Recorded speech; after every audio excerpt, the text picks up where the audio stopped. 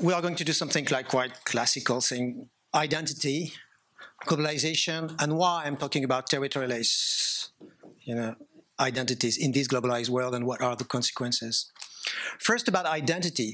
When people talk about identity, I, I think sometimes they don't get really the point because they talk about identity and they talk they think it's about singularity, what you really are inside yourself, so different from others. But identity first, you know, in mathematics, for instance, is the fact that being identical is exactly the opposite, actually, which is weird. So your identity is not how you are, what you are really deep inside yourself. It's first to whom you want to resemble, who you want to look like. And it's like if in human beings, human beings need identity. That means that they need to feel that they look like someone else, sometimes a hero.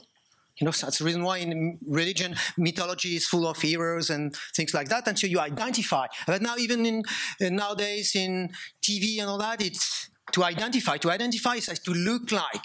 And when we feel we look like someone, like someone like could be mythological personality or something. In the same time, we feel that we are really ourselves, which is really weird. Because we can talk about ourselves like if we were someone else. Human beings are like that. They can't stand the fact that they are flesh and bones, and at least only that. They need to identify, so that means, I could say, identity is about the narrative structure of your being. So you talk about yourself to say what you are. So you talk about yourself with the way you dress. I mean, we are the only animals to not to have techniques because animals they have technology but our technology is so weird that it is a way of so to say what we are. It's not only to not be cold or something. It's just, yeah, I'm going to say what I am. For instance, I don't know, I'm dressing and such. I mean, if I was if I was teaching law and not philosophy, maybe I don't have a tie because I want to say what I am in such a way. And identity is about that. It's identification to what I'm supposed to be outside of that. So that's the first level of identity, like narratives and theater, second level, because I have to show it's not only a narrative I talk to myself, tell myself, I need to show people what I am. So I reflect to people, and so I'm like in a scenario. And if people don't accept my scenario, meaning the way I'm dressed, you know, and they look at me and they despise me. For instance, I'm supposed to be a philosopher because I'm here, I was invited here, so I'm talking.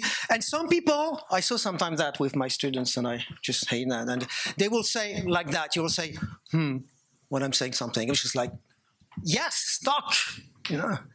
Say, hmm, yeah, wait, what he's saying is that, you know. And so it could be even worse because they'll say, it's like, he's not even a philosopher. Who is this guy? And at this time, that means my identity, being as a philosopher, what I projected, the way I'm dressed, the way I'm talking, is not accepted. So the scenario is not accepted by the people that are around. And if the scenario is not accepted, it could reach to such a point that I feel humiliated. It's what Pierre Bourdieu called symbolic violence that is everywhere in our society. In my definition of symbolic violence, it's when your identity is broken by someone, somebody that is laughing at you or not considering you the way you would like to be considered. You know?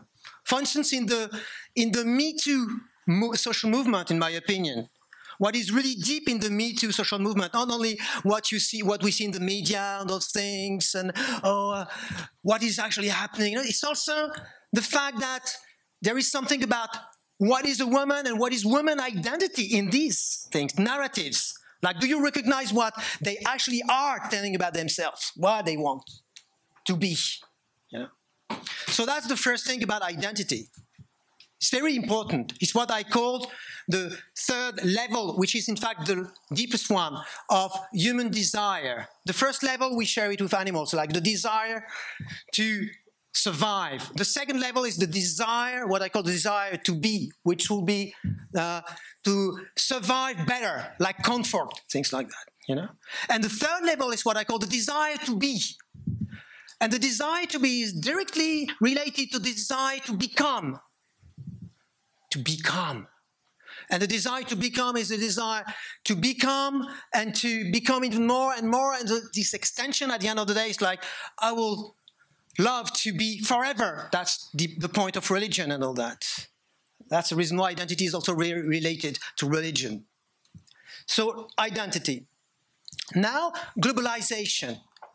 What is globalization? People talk all the time about globalization. Is you know, uh, it's about economy and exchange now all over the world. I think globalization is that, of course, but it's very peripheral. Peripheral. The first thing about globalization, in my opinion, the first thing is the global, meaning on the globe, global, just the fact that the Earth as a whole, the global circulation of desire, but of desire to be which is the third level of desire, which is actually identity, if you have understood what I said the first time, on the first moment of my talk. Right? So that's the circulation of the desire to be on a global scale. Not even circulation in a way.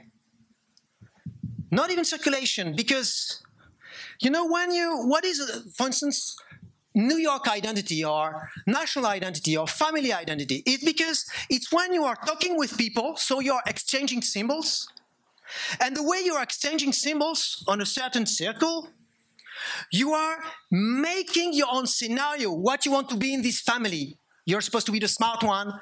You're supposed to be the, the joker. You are supposed to be the funny one. You are supposed to be the ironic one. You are supposed to be no one, and you feel bad about it, you know. And you have your some kind of a room in the scenario. It's your identity in the family. After it's your identity in the in the in the block, in the city. It's your identity in New York City. It's your identity as an American, etc., etc., etc. So it depends of the capacity to exchange those symbols, those informations in real time. Before we didn't have a global identity because we couldn't exchange symbol in real time in very in very speedy, you know. But now with internet, it's like if we had a global circulations of symbols. Doesn't mean that we are losing what we are here in New York City, what we are here in our family. That means there are some kind of uh, hybridations of our desire to be, you know. And so those hybridation, they create something new. And this time, it's something quite weird. Because on a globalized world, because this globalized world is made not on specific territories, as I said before. You saw when I wanted to talk to you about those identity perimeters, at first I said family, it's a certain perimeter, people you meet every day in real time on a certain space, which would be your house, part of the city, or in the city. So the city is a space, it's geographically, you know, it's located geographically. And after you have uh, the United States of America, there are borders. We know about that now with your president. We know there are borders in the United States of America. Yes, you know, we can't forget about it, especially when we are foreigner. I mean, I arrived yesterday and I, yeah, yeah, you know, I, I knew there was borders, you know, especially when I was in the back office and I was asked so many questions about why do you come over here and just, uh, you know. So we have borders, so it's territory, geographical. But when I talked about the last one, the globalized one, it's not only a question of perimeter, which is weird compared to the other one. So it's not only a change in uh, the perimeter of what our identities, which was before different perimeters, bigger and bigger and bigger, time after time. But now there is a change of the nature, the very nature of identity, because those identities, they are not rooted anymore, this last level, in a specific perimeter, geographic perimeter which is really weird. So that has some consequences of what is identity and what will happen with it. Because I told you identity is about desire, the desire to live together, to share symbols, and to feel in this theater that life is worth it. Because you feel good telling about yourself that you're strong and you're that and that and that, and you need to have reaction of people on your the scale. But now it's on a global scale that that is happening you know? And so it's when, it's where happen what I call territoryless identities. Territoryless identities are space of desire, what I call space of desires, that are not rooted specifically on a territory. And they have impact on territories because we are still living on the earth. So we are still living on territories like on the ground. For instance, I give you an example, like some kind of a positive territoryless identity, and after I give you an example of uh, what I call negative territoryless identity that have consequences, for instance, it's new jihadism. But let's talk about positive territoryless identities. We will have uh, manga culture. You know, manga, like, supposed to come from Japan, but in fact, it doesn't it's not Japanese anymore. First, you will have symbols from everywhere. You'll have uh, a girl that is dressed uh, like like in a, a British boarding school, and you will have other kind of symbols, Celtic symbols, European symbols, and you will have African symbols, everything mixed up all together, with the idea that even Japanese culture will become part of Japanese culture, will become territoryless, uh, kind of a territoryless identity through through uh, manga cultures. And so you'll have all the features of what is an identity. So that means people, they will exchange symbols, dressing in certain way when they are manga, uh, you know, aficionados. And they will like certain kind of food. It will even transform their taste, their way of living, even their political uh, ideas, because politics is first about style. People say politics is about ideas and all that. But ideas comes after. much after. People, they pretend they are left wing because they feel so good to feel that they're left wing and they dress like left wing and they look at each other and look at others. And after ideology comes really very far after. So that's the reason why when you are in a conversation with your friends, you try to convince them they don't give a damn about it. And if they pretend they are convinced just three minutes after, doesn't change anything because it's an aesthetic, it's a style. And so to get into the style and to, into the identity, into their scenario, that's much, much, much deeper and more difficult than just convincing someone. You know? So uh, you have those territory less positive identity. So people are recognizing themselves through that and they are playing, they are acting, they have, they have the, uh, some kind of heroes they identify with. They meet with each other, but on this global scale. So what is really weird with that is that identity is also a way to feel that you are close to somebody, close to somebody because you share somehow part of his identity, and usually it's worked with the part of the city, the village, or the city itself, or the country, and all that.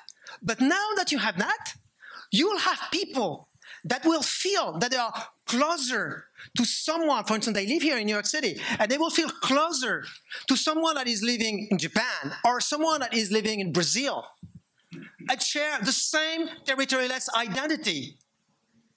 And they will feel that really they understand each other. They desire each other, even sexually. They desire to leave something with each other, you know? But on the other way, they will be feel far, sometimes far away from someone that lives in the same building and someone that lives in the same part of the city. And that makes things being really complex. Because in another way, they also share things with people that live in the same building. And at least they have to, because they have to deal with some kind of conflicts in the same building, you know? But they live far in a way. So that, was, that was one of the first effect of those territoryless identity. So when people say there is a clash of civilizations, I say no, of course not. And I wrote a book that is called "There is no such a thing like clash of civilization" or something like that. And and the journalists they always said they always said, oh, "You're so positive, so optimistic." So I'm not optimistic. I think it's much worse. much much worse. Because at least when there was what we call civilization, there will be borders, and you know where is the enemy, the people that you don't like. But now, it's everywhere people that you like more than the people that actually live in the same building.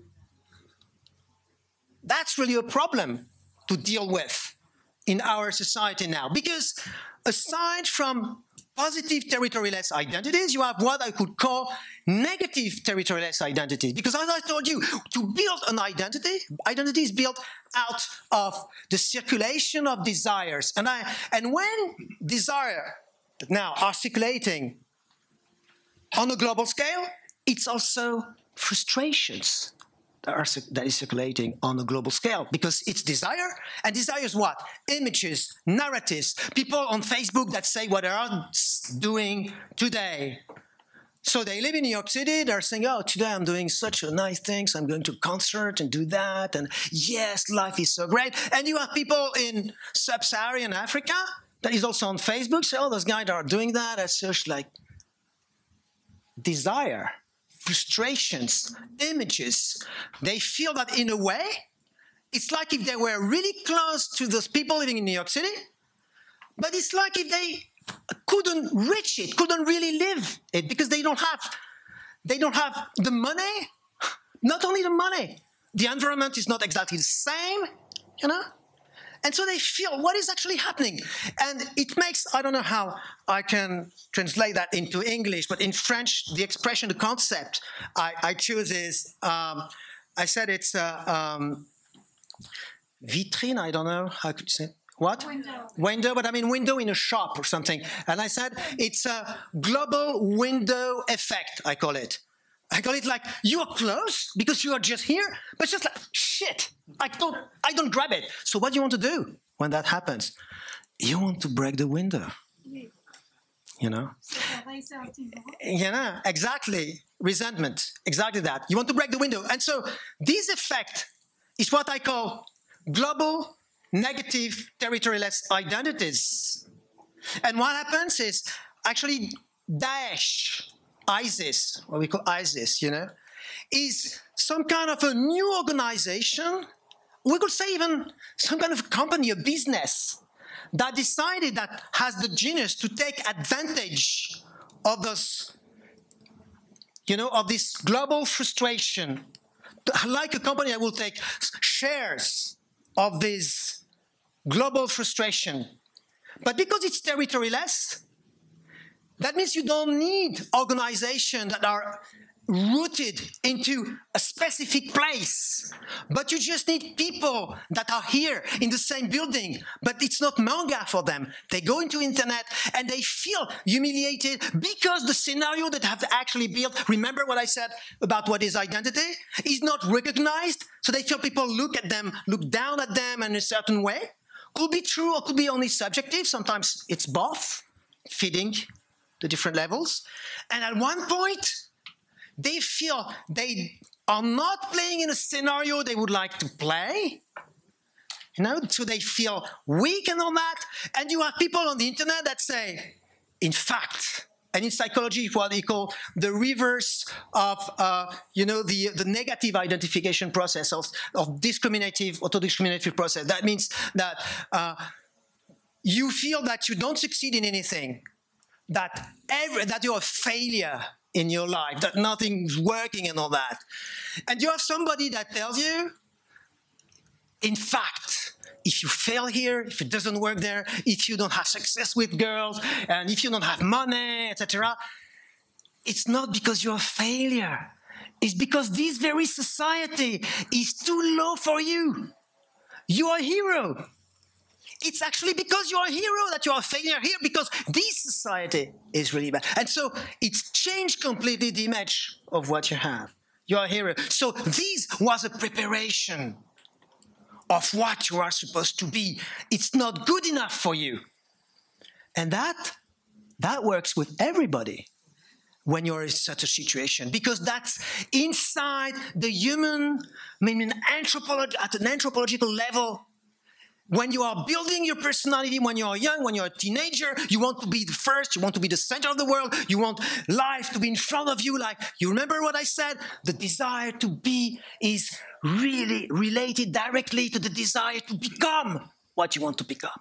And when you feel you can't, and somebody tells you it's because you are going to become much more than that, I mean, you buy it, of course.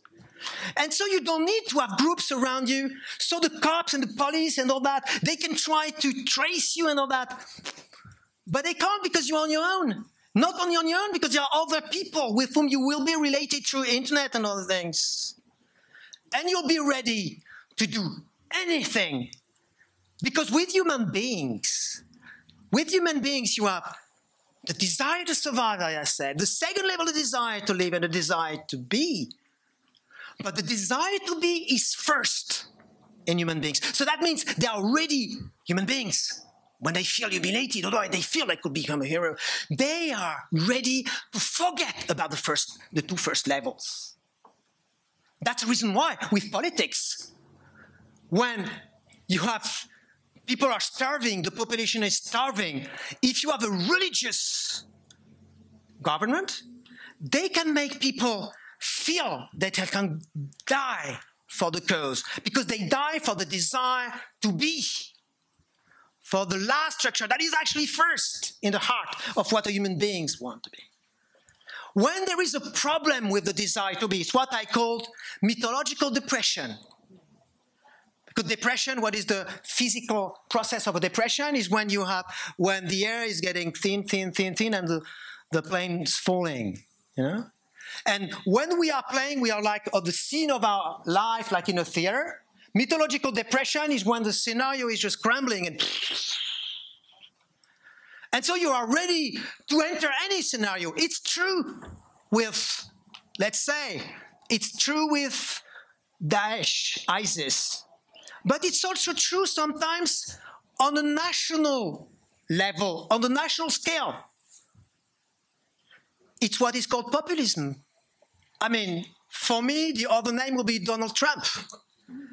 Because that means it's the, there is a mythological depression all over America in this desire to be, the desire to become. So let's America great again. It's interesting because it's a real depression because it's the first time, as far as I know, in history of American politics that the president is elected with the idea that America has to become great again, meaning it's not anymore. While the others, even though they were really right wing, they will say, yes, let's America being great, like it is great, so it will become greater or something. But the fact that it is said in this country that let's America great again, it looks like some kind of mythological, for me, I'm not specialist, but mythological depression. So you see, what I wanted to say about territoryless identities, that means that we are in a world where people will be with each other, we feel good with each other in a way they didn't before, with groups that will constrict each other in a way they didn't before, but in the same times will occur new kind of violence in a way it didn't before. And we are not prepared to that. Thank you.